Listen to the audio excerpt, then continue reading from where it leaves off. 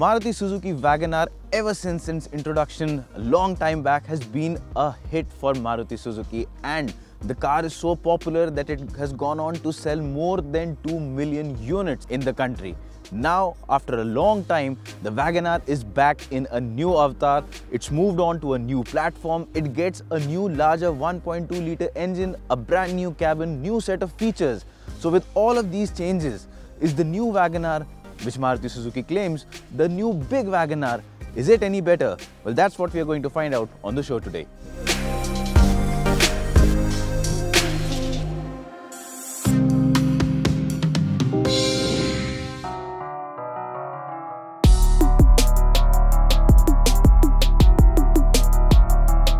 Now since the WagonR is based on a new platform, even the design is entirely different from the outgoing model. The only similarity it retains is the fact that this again is a tall boy design.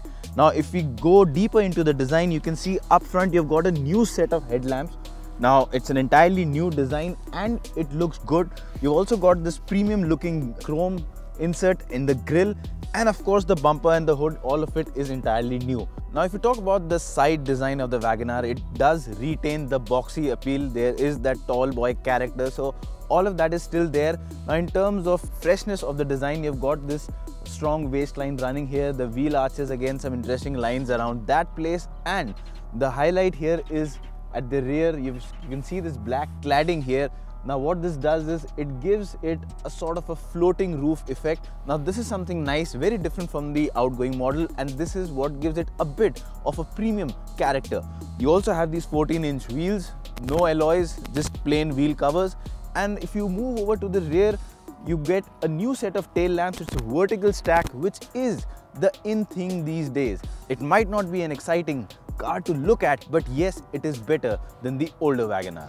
Now, considering the WagonR is positioned as a practical and a family-oriented car, it is extremely important to have good amount of boot space. There is practically a lot of space and we have been able to fit in a lot of stuff in this boot earlier.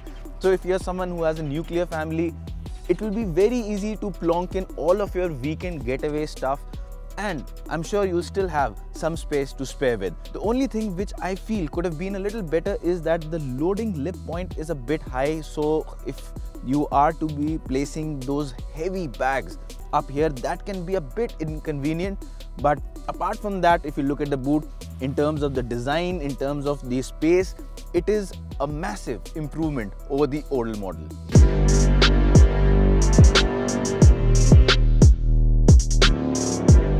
Now, one of the biggest changes in the new WagonR is in the area of powertrain.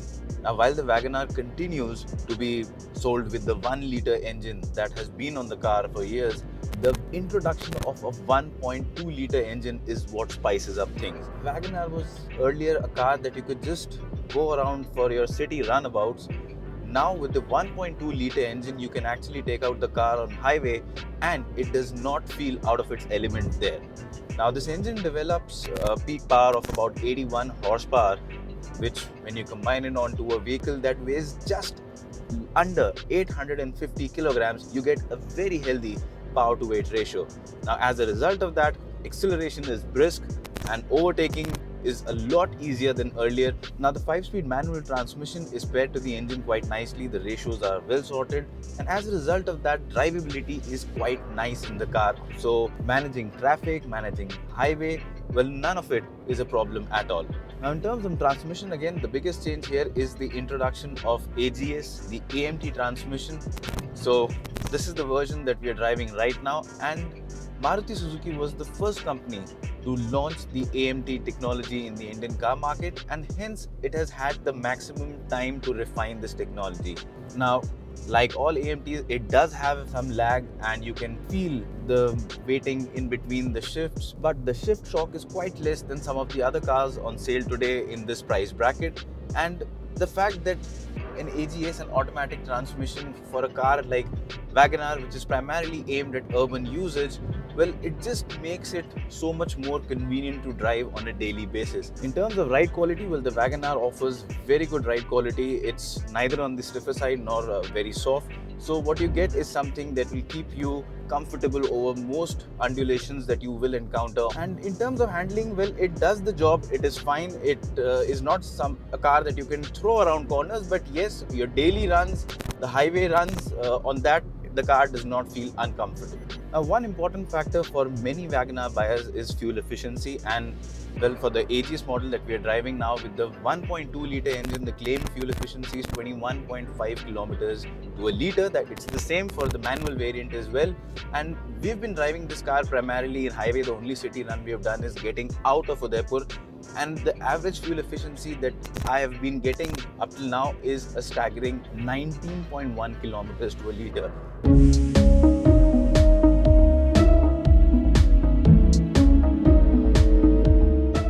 Now being an all new car, it gets an all new cabin, it gets a brand new dashboard and the good thing is it gets a dual tone color dashboard so you have a top black part and a lighter lower part. You also have these aluminum finish inserts around the air conditioning vents, gives it a bit of a premium feel and of course if you talk about the center console again you get it in a matte black finish. The plastic quality is definitely better than the outgoing model but I wouldn't say it is the best in the segment, but yes, it is good and better than the older model. Now the highlight of the cabin is the new infotainment system here. Now this is a 17.78 centimeter color touchscreen and it is not the same screen that you see in other Maruti Suzuki cars. It is a different unit and it gets a different interface too. It's a bit more colorful, a bit more lively.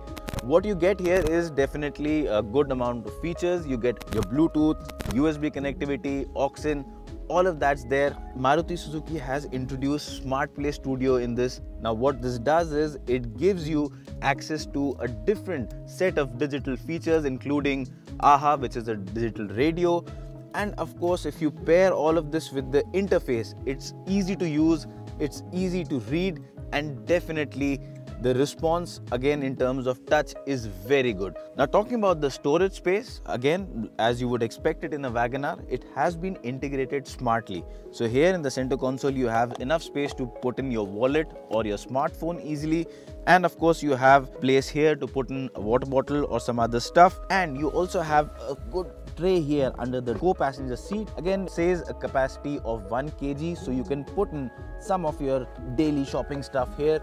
And you have this glove box. Again quite spacious. So it's not just enough for papers. You can put in a lot more stuff and if you talk about the door pockets again you can easily place water bottles on either sides and you will still have space to put in a little more stuff now coming to the rear space of the new WagonR, well, this is a great place to be if you compare it to the older model. The space has increased with the change in platform, so the dimensions have grown in all aspects and as a result of that, you get a lot of space at the rear seat. Now in terms of legroom, you can see there's a lot of it. The driver's seat is adjusted to my driving preference 5 feet 8 inches for reference and just look at the amount of space I have to spare. So if you are someone who is even 6 feet tall and you're going to be chauffeur driven or you're going to sit at the rear seat, leg room is not going to be a problem. I don't even need to mention it's a tall boy. Headroom is definitely not going to be a problem for people even who are 6 feet or 6 feet 1 or 2 inches tall. The space is not only the best in its segment right now, but it is more than some of the subcompact sedans and some of the much more premium hatchbacks on sale. So in terms of space, the WagonR is a champion and definitely a winner in this segment. What could have been a little better is that the under thigh support on the bench is not as much as I would have liked it. Well, it's not uncomfortable and most people will find it to be comfortable but yes someone who's tall might find the lack of proper under thigh support to be a bit of a botheration maybe only on long drives but apart from that well there is not much to complain about you talk about competition, the Santro was launched last year and that set a new benchmark, but the new WagonR has again matched it and is one of the best buys in the segment. It now comes with the added convenience of an AMT gearbox and a much more powerful 1.2 litre petrol engine as well. So it pretty much checks all the boxes. It gets better safety, it gets more space, new features and an updated styling. So add all of that and couple it with a competitive price range of rupees 4.2 to 5.7 lakh for the top variant and what you get is a great value for money car and the Maruti Suzuki WagonR which has always been such a successful car for the company has just ensured that it will continue to rule the segment.